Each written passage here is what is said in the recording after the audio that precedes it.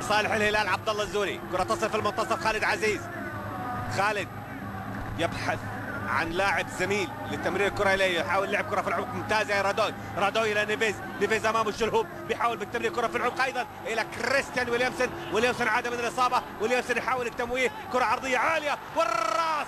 الراس في المرمى. تييغو نيفيز يسجل الهدف الأول للهلال. هدف في الدقيقة الثانية والثلاثين. الكرة صدمت في العارضة ونزلت داخل مرمى فريق نادي الحزم.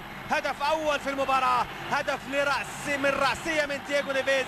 هدف للهلالي تياغو نيفيز. هدف عاشر لتياغو نيفيز في هذه المسابقة في دوري زين السعودي للمحترفين. بعد كرة عرضية بعد تغيير أيضا في مواقع اللاعبين. شاهدنا رونالدو في الناحية اليسرى. شاهدنا ويليامسون جاء للناحيه اليمنى.